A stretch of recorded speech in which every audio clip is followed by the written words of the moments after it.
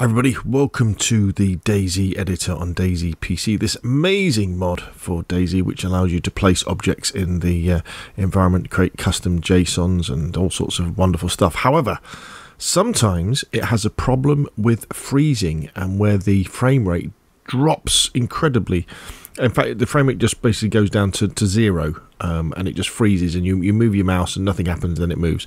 And this is one of the fixes uh, that you can do. Um, if you go, if you press spacebar, so you bring up your cursor and then go into the editor and then go into preferences and then we look at general look at the view distance.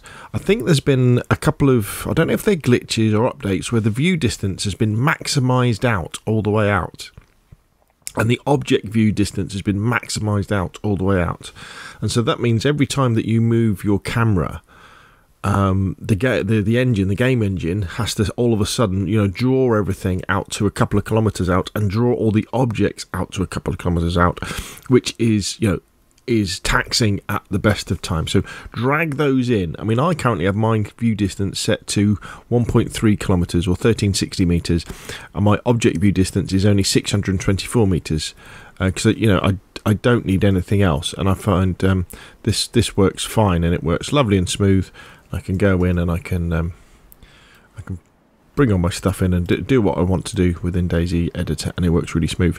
Now, the other thing you may want to do is if the, if this doesn't work, try deleting the folder with DayZ editor in on your workshop um, folder inside your copy of DayZ, and, and, then fire up DayZ, the DayZ launcher and let it re-download the mod and then go into it and then as I say go into editor um, preferences uh, general and just make sure that view distance isn't all the way across to the right to make sure it's almost all the way to the left so that you should improve performance and DayZ editor should be usable again Anyway, what do you think? If that works for you, please tell me in the comment section down below the video. If you've enjoyed the video, hit like. If you want to see more of the same, press subscribe. And I will, of course, see you again soon.